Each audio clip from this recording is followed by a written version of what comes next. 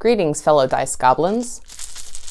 I am here today to show you my dice hoard. I've only been playing D&D for about a year, but in that time I have fully fallen down the click-clack obsession hole. I am at least super picky about what dice I want, so that does actually help me not spend like a million dollars on dice, but even so I've spent a pretty penny already. This video is broken up into three different categories, the first being random dice that I own, the second one, my personal flower palette, which is for my D&D character Flower, and the last one is my personal favorite dice of my entire collection. Timestamps will be listed down below.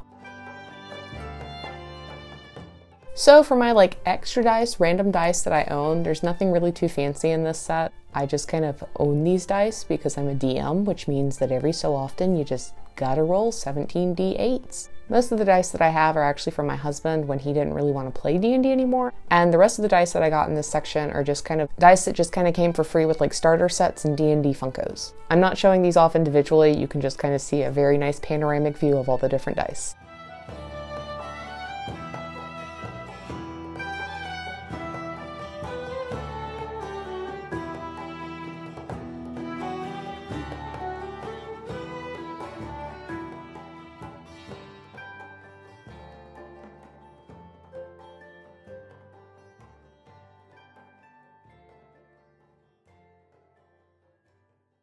Now we have my character's dice palette. I only got to play Flower in one session because after that I started DMing and that game itself only lasted about six or seven sessions in total. So I only got to play her as an NPC from that point onward, which was still really fun, but like I would love to play her again as an actual character. Flower is a Tabaxi paladin with a smidgen of Bard mixed in, who can't hit worth shit, but she's almost impossible to hit anyway, so it's kind of like a weird even out thing. She's really good because she can bless everyone and then she just stands there and makes flower crowns. She loves planting flowers everywhere in honor of her goddess Chauntea. She wears a flower crown, is based on my squishy cat, and has a heart of gold.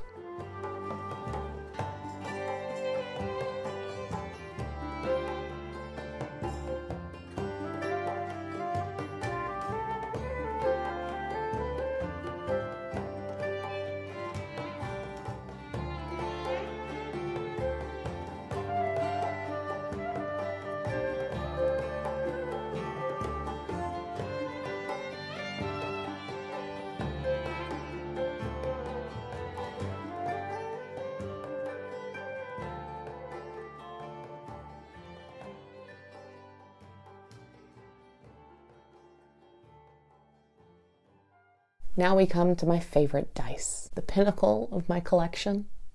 Also, the reason why I don't really want to keep buying dice because holy crap, they are expensive.